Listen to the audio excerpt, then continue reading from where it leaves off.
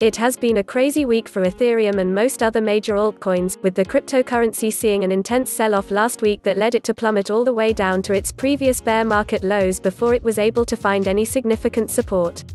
Although ETH has since recovered from these lows, it still remains in a precarious position, as one prominent trader is now noting that a rapidly forming pattern could suggest that the crypto will soon post a significant decline.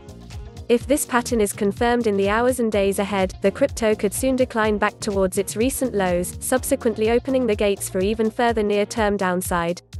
At the time of writing, Ethereum is trading up just under 2% at its current price of $115, which marks a notable climb from daily lows of $108 that were set yesterday in tandem with Bitcoin's decline to lows of $4,600. Over a weekly period, ETH has been able to put some significant distance between its recent lows of under $90 that were set at the bottom of the capitulatory sell off seen last week.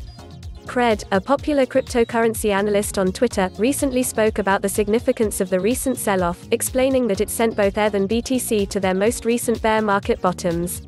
This shows how significant this recent sell off was, and just how much fundamental damage was done to the cryptocurrency's market structure. This damaged market structure has led Ethereum to form a bearish rising wedge pattern that could lead it significantly lower in the near term. Livercoin, another popular crypto analyst, spoke about this in a recent tweet, explaining that he is eyeing a short term downside target in the $90 region. Unless the aggregated market is able to garner some sustainable momentum in the near term, it does seem as though the technical damage done by the recent capitulatory sell off will lead Ethereum and other cryptos lower in the days and weeks ahead.